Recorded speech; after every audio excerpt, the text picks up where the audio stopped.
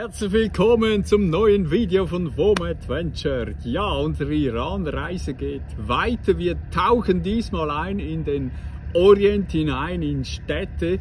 Und zwar zuerst nach Kashan, dann nach Ardakan und zum Schluss noch Yask. Ihr werdet also einige Fotos auch sehen, wo uns wirklich hinein in diese orientalische Welt hinein begleiten werden und wunderschöne Bilder wird es dabei haben mit der passenden Musik natürlich. Also dann viel Spaß beim Schauen.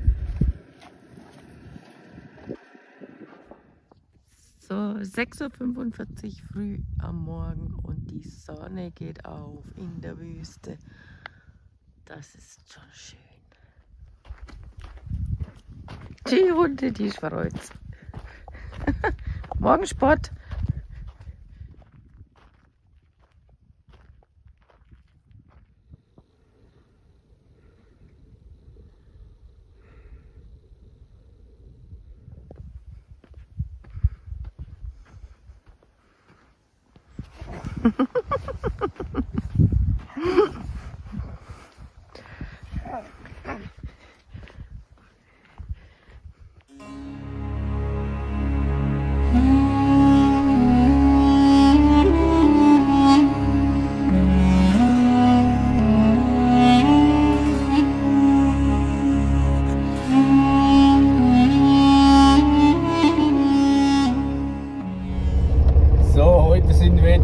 Aufgestanden und fahren jetzt weiter und wir müssen diesen Hügel, diesen Berg überqueren, aber ich weiß nicht, ob das geht und sonst kehren wir einfach um. Also das sieht machbar aus, da zwei Hügel und dann sieht es ziemlich fest aus. Alles gut.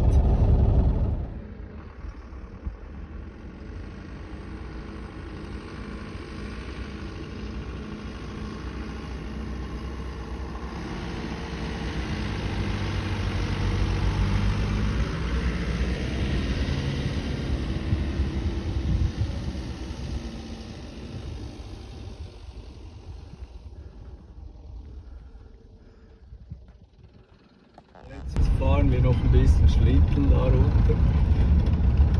Ein Dünen mehr hinten.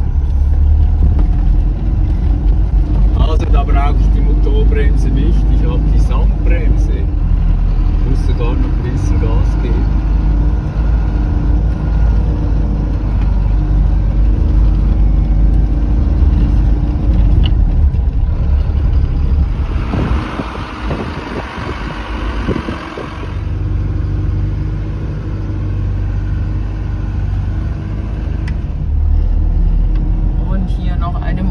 Nebellandschaft über der Wüste.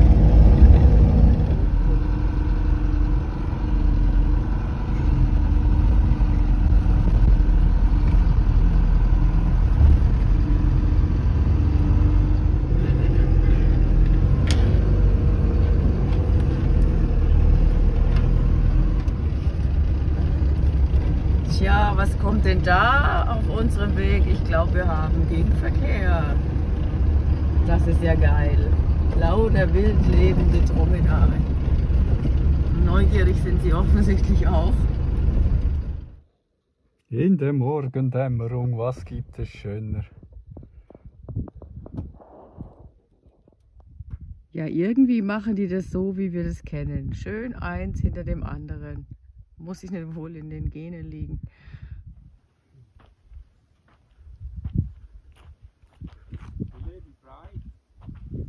Geil, hä? Wow, ist das toll. Da fahren wir auf eine Siedlung zu, da leben Menschen schon ganz einsam mit ihren Tieren. Salam! Hm. Die Esel müssen mal riechen, wie das komische Gefährt denn da riecht, was das für ein Tier ist.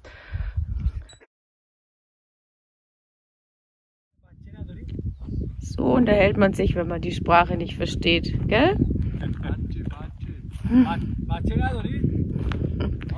Mit Händen und Füßen und Gestik und so weiter. Den Esel stört nichts, aber die Hunde müssen schon wieder die neuen Hunde begrüßen. Da geht's wieder ab. Also der Herr möchte gern gefilmt oder fotografiert werden und dann tun wir das natürlich, wenn er das sich wünscht. Tja, auch hier gibt es, glaube ich, Tee oder irgendwas. Wir wissen es noch nicht genauso. Hier wohnt der Herr. Tja, andere Länder, andere Sitten. Er hat uns gerade den kleinen Kerl gezeigt. Den hat er jetzt aus der Tüte rausgelassen und dem hat er wohl gerade vorher erst die Ohren abgeschnitten. Ach, da tut einem das Herz weh. Ja, wir sind total auf dem Land und so lebt man hier oder er lebt hier. Also wie im Altertum, überall so Nischen wo dann halt Zeug draufgelegt wird. Da wird geschlafen, da in der Mitte das Feuer. So, jetzt gibt es ein bisschen Spiritus, ein bisschen Feuer für uns und er macht einen Tee. Joy. Joy. Ja.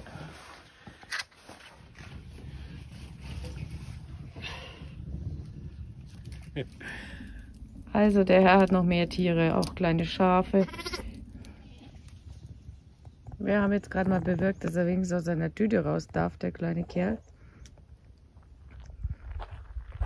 So ein Zuhause ist schon interessant. Da gibt es dann auch noch Raum für die Tiere.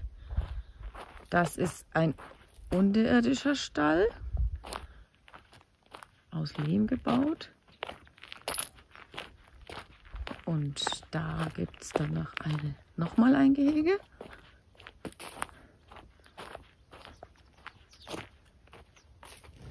Und hier drin sind die Schafe dann geschützt vor der Hitze. Das ist interessant. Habe ich so echt noch nie gesehen. Auch die Eila muss das natürlich erkunden. Und der kleine Hund ist dabei. Ist der kleine auch. Zum Tee gibt es jetzt auch gleich noch Frühstück. Auf Hirtenart. Ja, wir haben uns jetzt verabschiedet von dem freundlichen Mann und dann geht es weiter durch die Wüste und Sonne. Stehen wir wieder vor der nächsten Kamelherde. Der Untergrund ist immer mit Salz vermischt.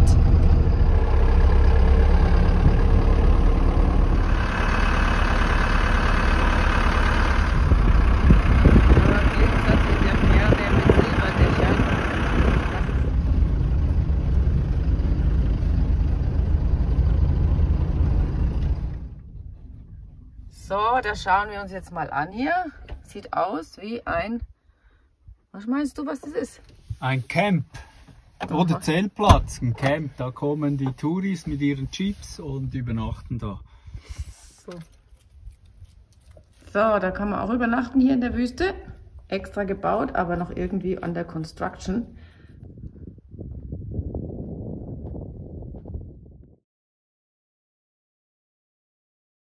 Das ist Service, hä? Das ist Service.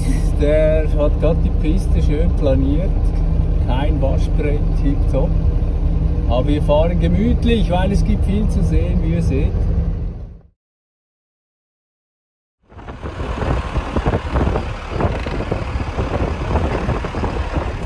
Komm mir vor wie eine Safari. Das sieht echt danach aus. Leider hat es nur Kamele und Schafe. Und viele Sandhühnenberge begleiten uns auf der Fahrt. So, da vorne links sollte es dann einen Salzsee haben und es ist momentan viel Wasser. Wenn wir Glück haben, hat es Wasser drin.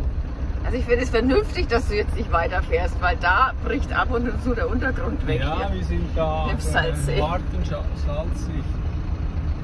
Jetzt schicke ich die Frau rauf zum Salzhof. Unendliche Weite. Das ist Wahnsinn.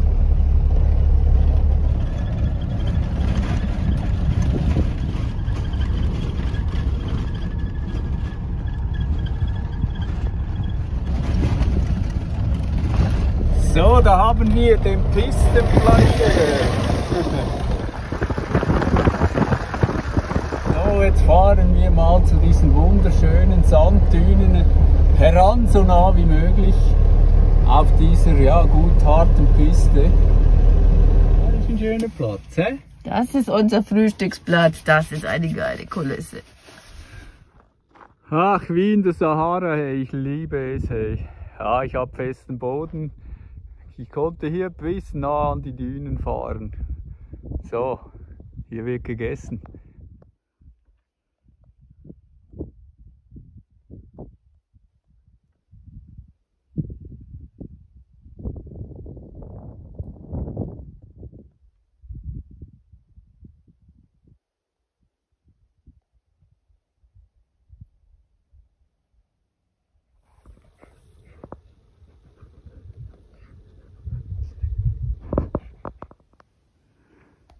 Einen Rundumblick machen wir hier von den Sanddünen zu den Wasserstellen und weiter zum Salzsee. Ja, und da unten stehen wir mit unserer Frühstückspause und da hinten gibt es dann nochmal Sanddünen.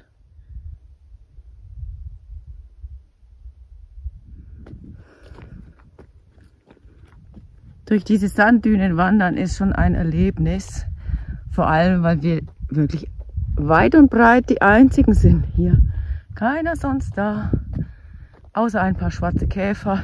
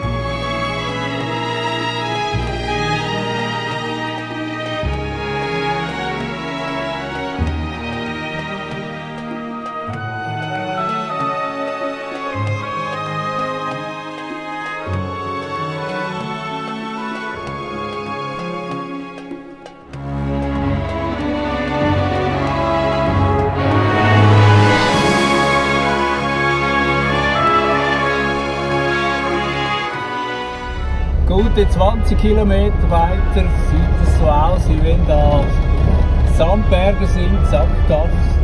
Aber es geht da rechts zwischendurch. Ich habe zwei LKWs gesehen von Weitem und die sind aber nicht von da gekommen, wo ich gekommen bin, sondern ganz links um den großen Berg beim großen Salzsee sind die rumgefahren und bringen wohl Salz in die Zivilisation. So, an dieser Stelle führen diese zwei Pisten zusammen und hier fahren die LKWs hoch und bringen das Salz. Ja, sagenhaft eine Straße über die Sanddünen. Nicht schlecht. So, jetzt zieht sich das hin, jetzt geht es langsam wieder runter. Ich sehe schon ein Dorf weiter hinten, unten. Und jetzt habe ich dann wieder Handyempfang. Ja, sieht schon speziell aus, hä? mitten durch so Halbdünen, sag ich mal, eine Straße oder eine Piste. So, bald sind wir raus aus diesem Sandhaufen und dann geht es wieder in die Zivilisation. So, schön war's. Also, diese Frau campt ganz alleine in ihrem Toyota Hilux. Sie kommt vom Teheran, wusste ich auch nicht. Frauen alleine am Campen. Der Herr da ist ein Kollege, der schläft in diesem Auto. Abendstimmung, oh, wie schön. Ja, und die Iraner, die feiern so am Abend in der Wüste. Also die Iraner haben geheiratet und das ist jetzt eine Inszenierung mit Fotos, Shooting, ganz speziell. Das haben wir schon öfters gesehen, dass die Iraner so ihre äh, Hochzeit dann nochmal festhalten in Fotos. So, wir haben eine Nacht da geschlafen und fahren jetzt wieder raus in die Zivilisation, eigentlich durch ein kleines Dünenmeer.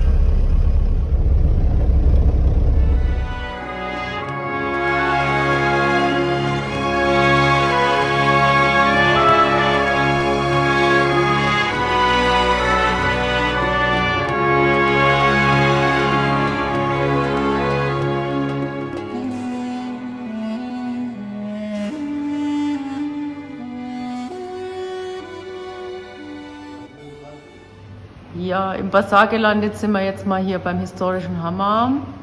Das ist jetzt aber ein Kaffeehaus, Restaurant und da wird wie fast überall immer auch renoviert. Ja, Mittagszeit, es ist gerade hier geschlossen, aber wir machen mal diese Riesentür auf. Sean Carpet Hossein, das ist der sogenannte Sea Showroom und da gibt es ah, tolle Innenhöfe mit Kuppeln, traumhaft. Jetzt mal Hinterhofatmosphäre mit Café Golab in der Mitte. Wow. Und hier mal Pracht wie aus Tausend und einer Nacht, alles renoviert. Da geht das Auge über.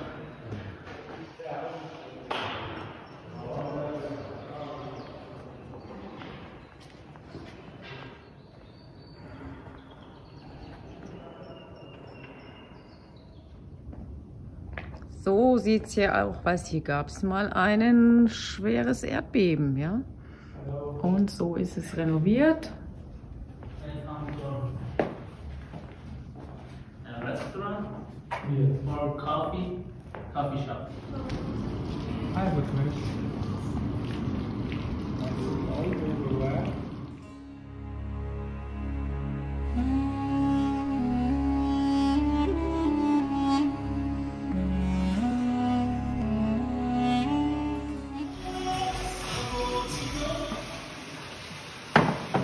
traditionell am Boden sitzen, aber also selbst ist der Mann, der hat sich mal umgebaut, weil wir wollten heute gerade mal nicht am Boden sitzen.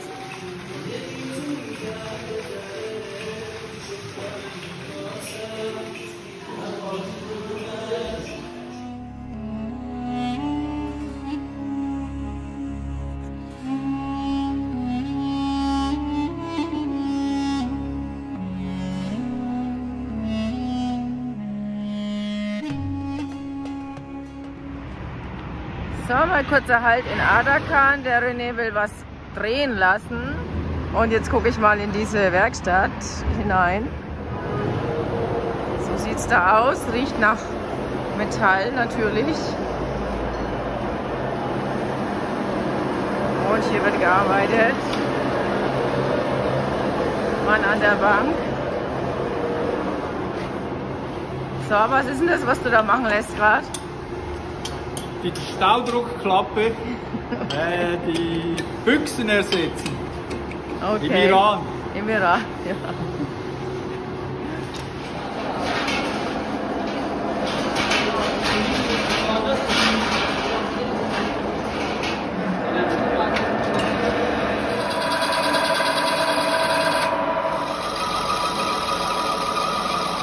So, das sind die Messinglieferanten, eine Bude daneben und die haben mir das Messing geschenkt. Es ist unglaublich, was ich hier erlebe. Die Leute sind so nett. Danke vielmals. Also gekostet hat es nichts, wurde uns geschenkt und jetzt auch noch Tee trinken natürlich. Ui. So, und das sind die Dreher, die haben mir das Teil gedreht in meinem Beisein und er hat es top gemacht. Es passt exakt. Nicht zu groß, nicht zu klein. Ich bin sehr zufrieden. Und die haben mir das auch geschenkt. Natürlich habe ich sie mit Schokolade belohnt. Herzlichen Dank.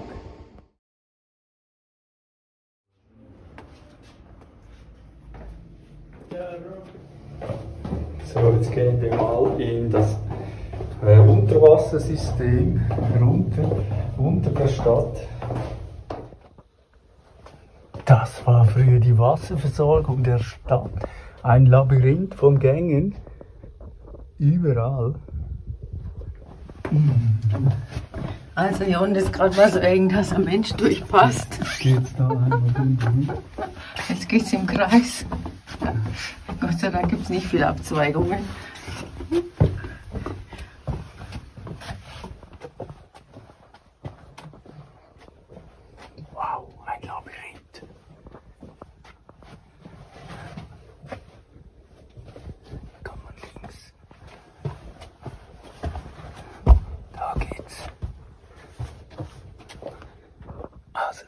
äh, so viele Kanäle, Gänge.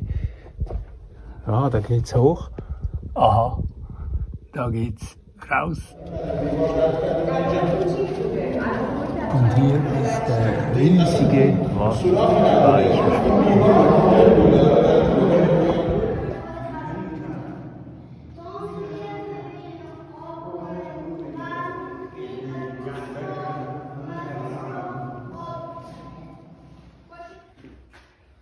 Ja, mit dem René geht man natürlich auch die verbotenen Wege. Wir haben nämlich gerade eine Absperrung überschritten und sind jetzt hier im unrenovierten Teil. Da ist Stockfenster. Und so sieht die Kuppe von oben aus. Zum Tee einladen und gleich den Hund führen. So eine tierliebe Iranerin hier am Parkplatz will uns einladen. Zack, und schon sind wir beim Essen eingeladen. So schnell geht's. Tja, also voll aufgetischt. Ganze Familie ist dabei. Wunderbar. Sehr schön. René schmeckt's. Sehr gut. Ja. Kurzerhand haben wir festgestellt, die Leute ha- haben auch Pferde und zwar Araber, Asyl-Araber. Die zeigen es uns jetzt. Hunde gibt's auch, zwar kleine.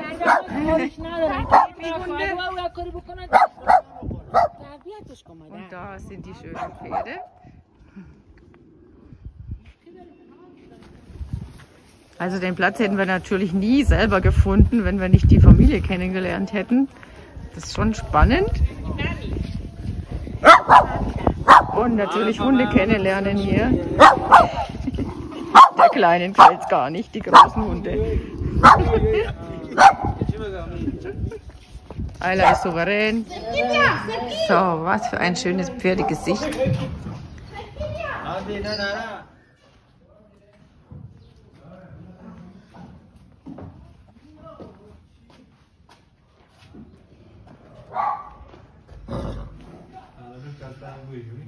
René macht Pferdebeschwörer. Der Kerl sein. Eine Schönheit, René, neben dir. Ha? Wunderschön. Ein Traum, diese Pferde. Jetzt präsentieren sie uns ihr schönstes Pferd wohl. Ganz stolz. Aber die sind auch edel.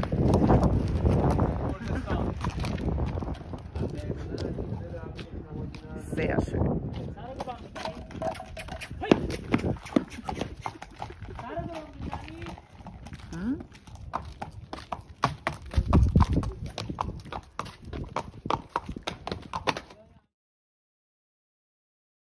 Noch Altstadtbesichtigung in Arakan. Da gibt es ganz schmale Gassen.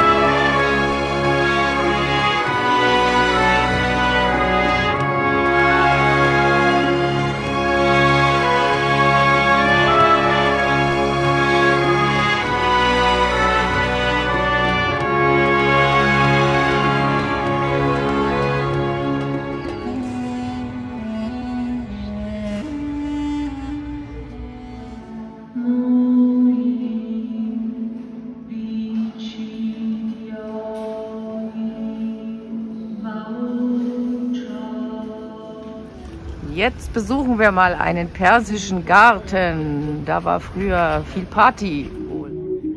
So hat man früher hier gelustwandelt und hier steht auch der höchste Windturm Irans.